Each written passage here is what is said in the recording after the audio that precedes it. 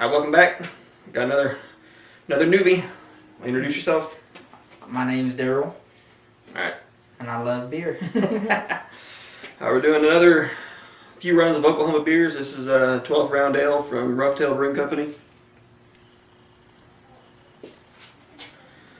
Uh, I don't know the alcohol content. Doesn't say on here.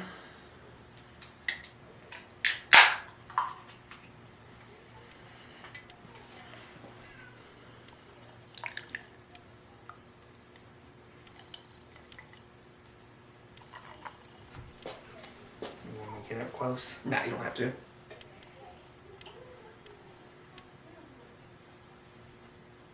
I'm not sure if I get half or not. Yeah. Sure. About the same. Smells pretty malty. Yeah. Definitely tastes malty. That alcohol seems like it's up there too.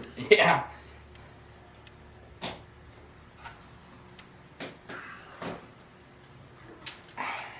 Not bad. Tastes a little more like a porter. Kind of leaves a bad aftertaste, but not too bad. Let's see. You googling the alcohol tent? Yeah.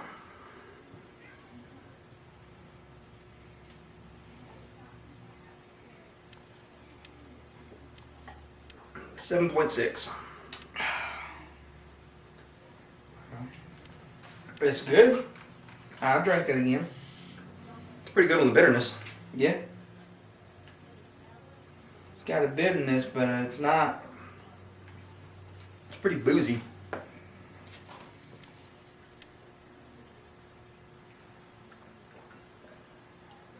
Be a good set down dinner beer. Mm-hmm. Bunch of meat. Mm hmm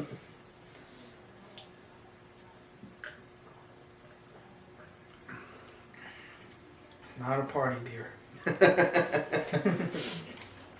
Yeah, you let this get warm, it's gonna. Oh yeah.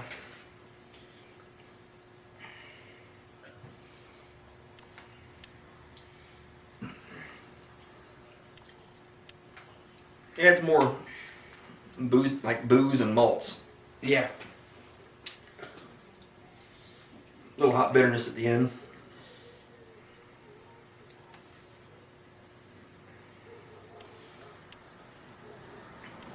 It'll. Mm-hmm.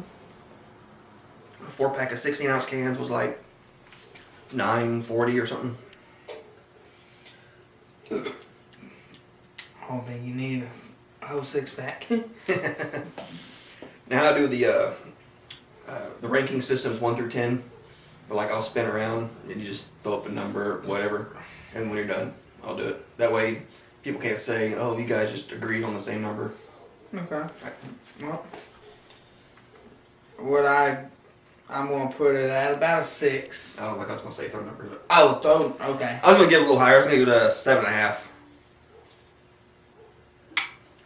It's uh, a little too high on the boozy side. Yeah. I mean, I'd drink it again, but it wouldn't be. Nah, I wouldn't go out of the way and get it. Yeah.